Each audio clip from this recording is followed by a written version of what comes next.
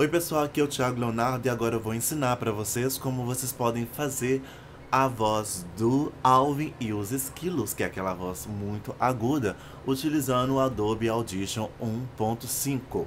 Vamos lá, vamos fazer uma gravação e depois utilizar este efeito. Xalala, como eu quero te amar, te amar, te amar. Beleza. Agora que nós temos já a gravação aqui, nós vamos clicar duas vezes em cima dela. Nós vamos selecionar a parte que nós queremos colocar esse efeito. Então nós vamos até Effects, vamos até Time Pitch, vamos até Stretch e vamos escolher a opção Razor Pitch.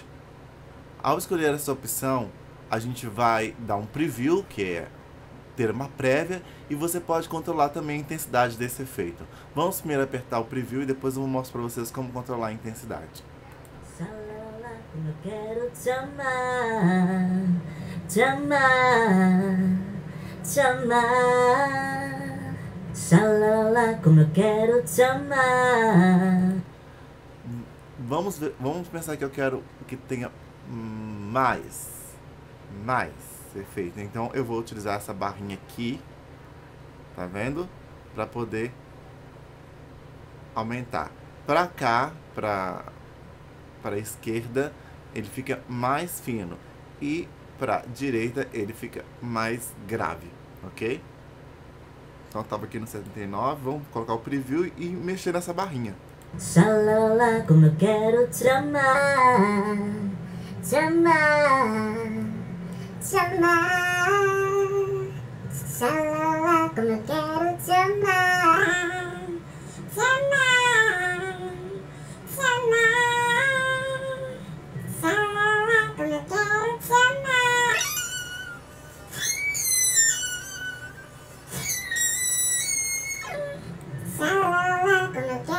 amar.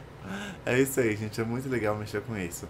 E assim que você tiver encontrado aí como você, a maneira que você quer deixar o efeito, é só clicar em OK, o efeito vai ser colocado. Lembrando, quando você coloca esse efeito na sua faixa de áudio, ela tende a ficar um pouco mais adiantada. Então você vai ter que, se você colocar numa música, né? Vou voltar aqui no track view. Se você colocar numa música, você vai ter que ficar regulando mais ou menos aí o tempo, tá? Para não ficar muito adiantado, ok? Então essa aqui foi minha dica para vocês e um beijão.